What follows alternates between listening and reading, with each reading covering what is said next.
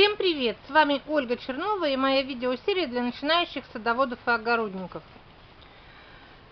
Всю весну, когда я выкладываю свои видеоролики, мне идут вопросы.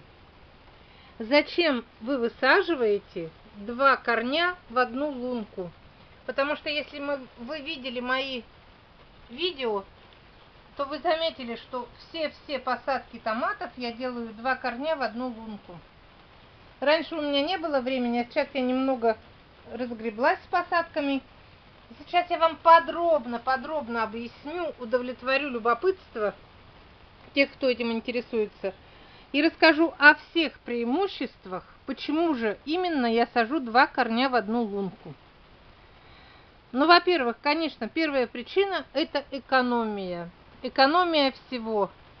Ставлю одну палочку между двумя в одну лунку, подвязываю одной веревочкой один раз, одной веревочкой второй раз, потому что вот как нынче 700 кустов я высадила даже с лишним, три подвязывания за сезон, это мне надо 2100 ниточек. Это ужасная сумма. А если я общей ниточкой буду подвязывать, то всего веревочки мне нужно будет 700, так же как 700 колышков. Экономия места в теплице – это второй вопрос.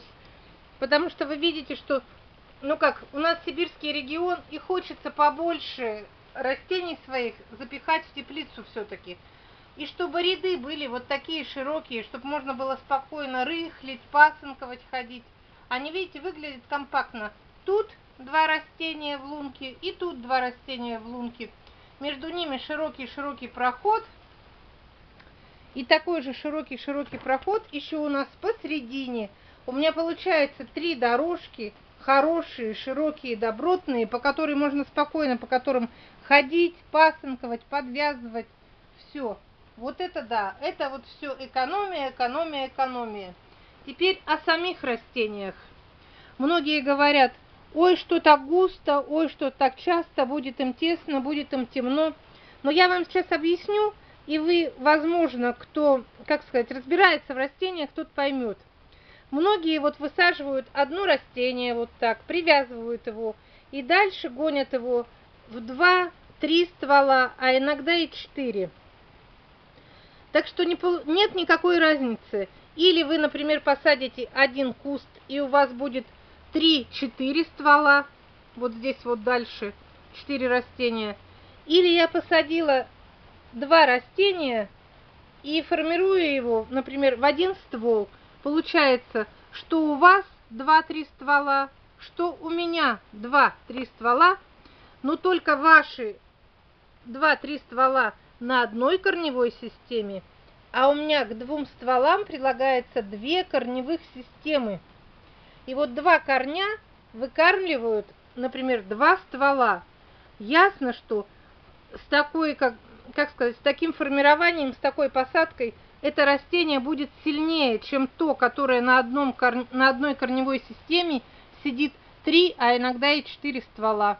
Вот это преимущество, которое я заметила, я вот начала так высаживать, и мне понравилось. Получилось, что на одной палочке, в одной луночке Две корневые системы кормят два ствола.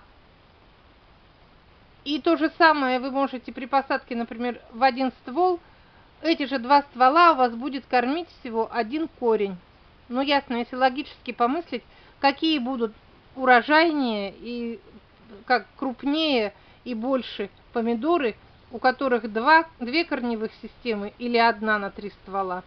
Вот это преимущество посадки две лунки в одну, потому что есть даже способ, некоторые, ну как, есть разработки, что можно даже сразу два растения в стаканчик садить, надрезать стебли, сращивать их, потом одно растение обрезать, чтобы было две корневые системы на один корень томатов. Но я, конечно, до этого не дохожу, до таких уж сильно полунаучных так методов. Я просто сажу две, два кустика, два растения в одну луночку. Все.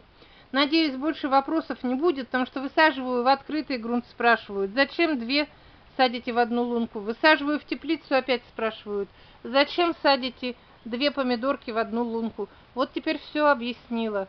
Конечно, сначала первая причина это жадность, от жадности хочется больше кустов запихать в теплицу, хочется побольше, побольше всего. Ну а другая причина, что так более здоровые, больше, быстрее приходит урожай. Ну, считайте, что как будто я два ствола одного томата выращиваю на одной палочке. Только у этого томата два корня. Все. До свидания. Сейчас покажу, как выглядит моя теплица сегодня, 11 июня. У нас дожди. Слышите? Дождь идет третий день, поэтому я могу работать только в теплице. Пришла обрезать лишние листики, все. Томаты очень хорошо развиваются. Те, которые посажены, буквально все уже, и даже верхние, эти завязи у них, верхние кисти сформировались. Все, все у нас идет прекрасно. Сейчас буду помаленьку отвечать на все ваши вопросы. У меня времени теперь побольше свободного, потому что некоторые обижались, что я оставляю вопросы без ответов. Представляете, высадить такую ораву и уже какие-то надо подвязывать и посынковать. Не обижайтесь, времени у меня очень было мало. Теперь буду больше снимать видео, отвечать во время видеоуроков на все ваши вопросы.